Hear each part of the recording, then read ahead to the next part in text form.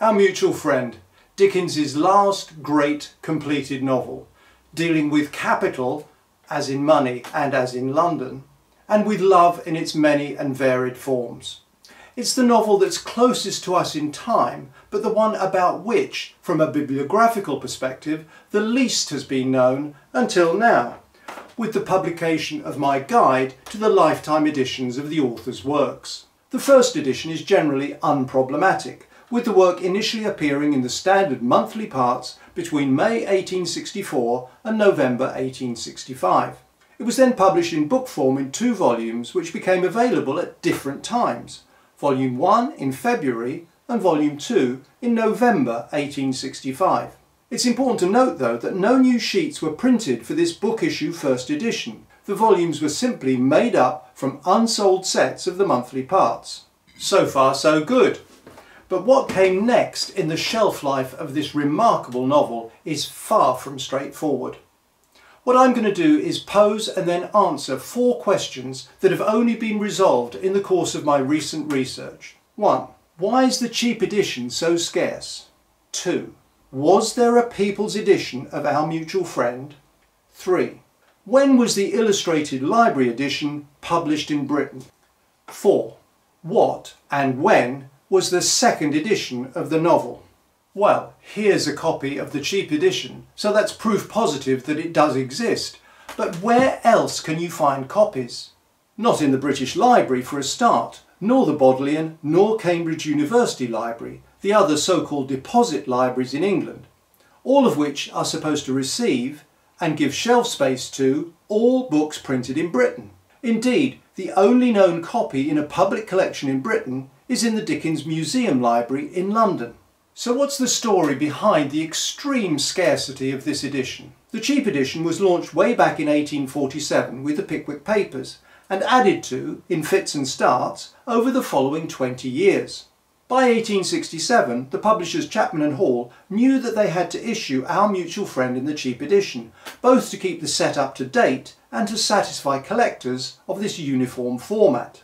However, they also knew that they would shortly be issuing the novel in the newly launched Charles Dickens edition, which began appearing in monthly volumes in 1867. This was intended to replace the cheap edition as an even cheaper and better edition, priced at three and sixpence rather than five shillings, and containing eight plates as opposed to the solitary frontispiece adorning volumes in the cheap edition.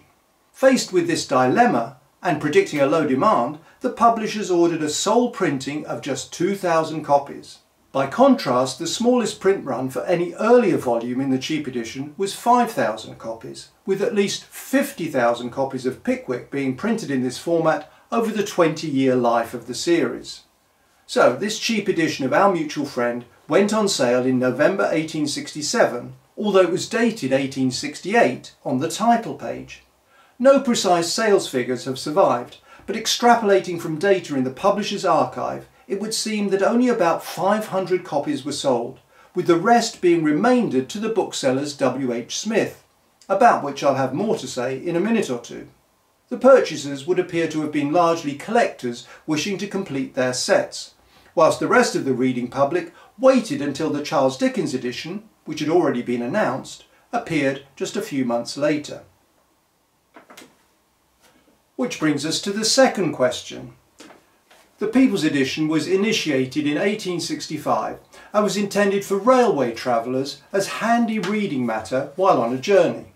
The books were flimsily bound in bright green paper-covered boards and were never intended to have a long shelf life. The series was published at the rate of a volume a month over two years and a total of roughly 300,000 volumes were sold in this format. The scarcity of these delicate items is shown by the fact that a recent search turned up just one copy of one title in the original binding available for purchase from online booksellers anywhere in the world. When this series started to appear, Our Mutual Friend was still in the course of publication in monthly parts. The edition was projected for issue in 25 volumes ending with American notes, and not including Our Mutual Friend and the publishers duly stuck to their plan. So why do several highly respected sources maintain that the series was made up of 27 volumes, the last two being the two volumes of Our Mutual Friend? Now this is where things start to get tricky. Chapman and Hall remaindered all their unsold stock of both the cheap edition and the People's edition to the booksellers W.H. Smith in 1869, as they were devoting all their attention to marketing the even cheaper Charles Dickens edition. In the deal, W.H. Smith received a miscellany of weekly and monthly parts, bound copies, unsewn sections and partially blocked cases, together with printing plates enabling them to create still further copies. In a truly unoriginal move, their marketing strategy was to conflate Chapman and Hall's cheap edition and People's edition into their own, wait for it, brilliantly named People's edition, which does indeed include our mutual friend.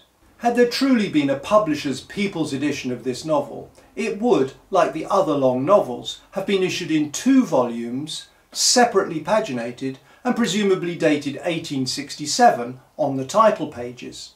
As it is, the only known copies are bound in one volume in W.H. Smith's half-leather binding, continuously paginated and dated 1868 on the title page. They use the remaindered sheets of the cheap edition and are not, and never were, part of the original People's Edition. Phew. Having negotiated a way through that bibliographical minefield, be prepared for an even trickier one. Oh no! Here we go then. Some scholarly sources say that the first illustrated library edition appeared in Britain in 1867, while others say 1869. While working on my bibliography, I was assiduously tracking down copies of relevant editions. But until 2019, the only dated copies of Our Mutual Friend in this format and in the UK red cloth binding that I'd been able to find were dated 1869. Here, though, is an American set naming the publishers on the title pages as Ticknor and Fields of Boston, above Chapman and Hall, and dated 1867. If we turn over to the imprint, we can see that it notes Bradbury and Evans of London as the printers, indicating that these copies were intended for export. Even more interestingly, just above this, there's an exclusivity statement recording that Ticknor and Fields were Dickens's sole authorised publishers in the United States. The statement being dated April 1867 and signed by Dickens himself. So there was an 1867 edition, but were any copies put on sale in Britain? In early drafts of my bibliography, I pretty much dismissed this idea, as no copies have come to light in any major public or private collections in the past 150 years. However, in January 2019 I took delivery of a near complete set of the Illustrated Library edition assembled in the 1860s by a young lawyer named Edward Big. Let's call him Mr. Big and amongst the 20 plus volumes in the original red cloth was a two volume set of Our Mutual Friend dated on the title pages not 1869 or 1867 but 1866 a possibility that no scholarly sources had even hinted at. So here we have another world exclusive first documented in my June 2020 article in Dickens Quarterly. The additional questions that now arise are how can this 1866 edition be accounted for and how has it totally escaped notice until now? Story time! In order to understand what was going on with Dickens and his UK publishers around this time, we need to bear in mind that after the end of the Civil War in the United States, the author was making preparations for a lengthy reading tour in North America which promised to provide a substantial boost to his income. Through his personal friendship with James Field, one partner in the publishing firm of Ticknor and Fields, Dickens agreed to enter into an exclusivity arrangement with them whereby they would be the sole authorised purveyors of his works in the country. Let's not forget that there was no international copyright at that time, and Dickens was furious with numerous other American publishers who pirated his works and from whom he received not a brass cent in payment. The deal stipulated that sheets of the Illustrated Library edition and all the original illustrations would be printed in Britain before being shipped over to Boston where they were bound up for the American market. One stumbling block was the proviso that Our Mutual Friend, Dickens's most recent novel, should be included in the series and available as merchandise at the various stops on Dickens's reading tour. Given that Chapman and Hall still had unsold copies of the first edition on their hands and were planning to issue it in the cheap edition, which proved a commercial failure, it was predictable that there would be little or no demand for an expensive illustrated library edition of this novel in Britain. However, in anticipation of the need to produce copies for the American market, they asked the printing firm of William Clowes to set up new type for Our Mutual Friend in the format required by the Illustrated Library Edition. A few trial copies were run off in late 1866 and sent to Chapman and Hall. The publishers then made various changes to the preliminary pages and gave an order to Bradbury and Evans, their regular printers, to run off a thousand sets for the American market with the exclusivity statement on the title verso. In a very half-hearted advertising campaign, Chapman and Hall announced that an illustrated library edition of Our Mutual Friend was ready in 1867, but it would seem that they did no more than bind up the few trial copies dated 1866, which were then sold to subscribers of the entire series. If this conjectured scenario is correct, then perhaps 10 or at most 20 sets ever entered the UK market, explaining in part why such an edition was never even imagined by earlier bibliographers. Which brings me to my final question. The first illustrated library edition of Our Mutual Friend, printed specifically for the UK market, was published in 1869 with 500 sets being printed. In September 1868, it had appeared in the Charles Dickens edition in a highly respectable print run of 20,000. This was in turn preceded by the cheap edition dated 1868, but on sale in November 1867. 2,000 copies were printed, but probably just 500 or so were sold in the original format, before the rest were offloaded to and repurposed by W.H. Smith's so-called, and very misleadingly called, People's Edition which leaves the 10 or 20 sets of the illustrated library edition in a trial printing and dated 1866 that found their way onto the UK market in April 67 as the second UK edition of Our Mutual Friend.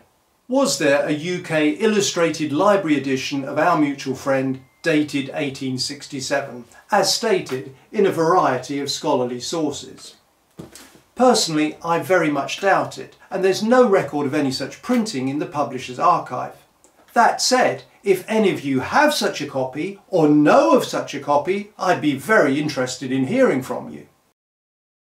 But if you have a two-volume set dated 1866, or even a copy of the cheap edition dated 1868, take very good care of them, as they're almost as rare as hen's teeth.